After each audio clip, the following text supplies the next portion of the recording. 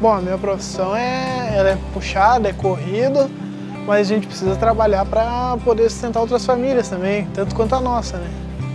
Porque sem a gente, as pessoas não conseguem comprar, não conseguem se alimentar.